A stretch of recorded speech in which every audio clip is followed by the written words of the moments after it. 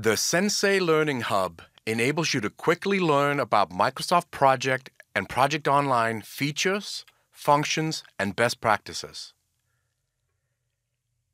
It is available directly inside Project Web App from the Knowledge Center.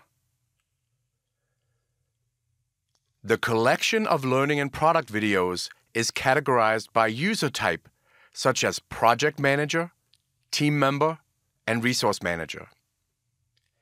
Each video is also tagged with key topics or subjects like workflow, dependencies, and deadlines and constraints. You can quickly search for videos based on title, description, category, speaker, and tags, or simply browse the complete list of videos to discover content. Videos can be viewed inside the Learning Hub or expanded to run in full screen. And new content is added each month.